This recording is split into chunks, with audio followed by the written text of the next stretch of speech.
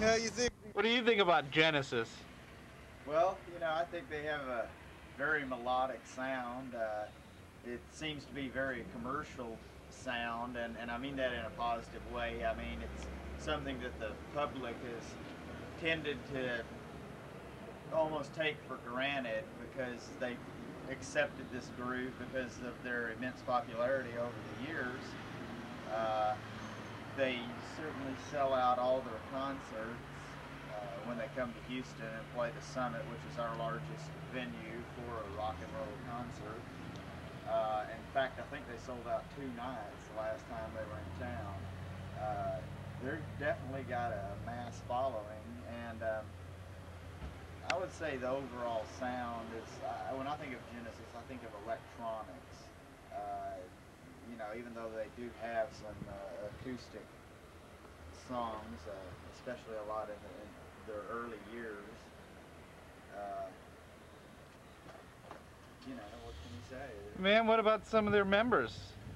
well, you know, Phil Collins, I mean, has established himself as a solo artist, uh, obviously. And, uh, of course, a few years ago, he was involved with probably Great Britain's greatest uh, jazz rock fusion group, although you might have some argument from the uh, Ian uh, Ian Carmichael, I believe. Uh, anyway, there's a there's a but you know his, they're they're like the best uh, fusion group, and then uh, Who's that? Brand X? Brand X. Right? What, uh, and uh, some of the other members had their own spin-off Right, groups. Well, you know, uh, Mike Rutherford has Mike and the Mechanics, uh, and then uh, I know Anthony Phillips. I mean, uh, yeah, Anthony, Anthony Banks. I believe he's released a solo album. I don't, I don't really know to be honest with you. Uh, but uh, We're gonna have to go s- consult Trouser Press. really, Then who's the guy? Ian Carr.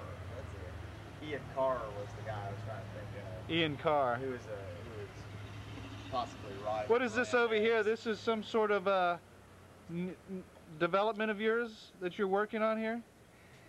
Man, it is. You know, it's it's kind of uh, kind of the vacuum organ. There, there appear to be photographs of uh, squirrels. well, the, the the squirrel has played an important part in my music. Uh, you know, I had Red Squirrel, the Ballad of Red Squirrel, and uh, I had Red Squirrel meets the City Squirrel, part one and two. And then Red Squirrel takes a holiday in the south of France.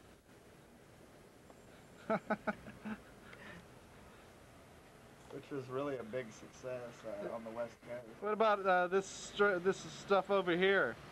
Well, this is kind of uh, this is kind of my little homage to the sea. You know, you've got like a, a duck's feet, 'cause a duck, you know, is definitely a water creature. Uh, you know, and I've got the various seashells, and I, I believe this little rock came from a, uh, a place uh, over near Galveston Bay that was called Funny Water Rocks, and uh, and then you know, of course, I've got some actual seawater here, and then the, the uh, you know the uh, seal cub, little brown fellow. And uh, anyways, it's kind of my my into the to the sea because you know I believe that we came from the sea and that one day we shall return to the sea. That's very beautifully put.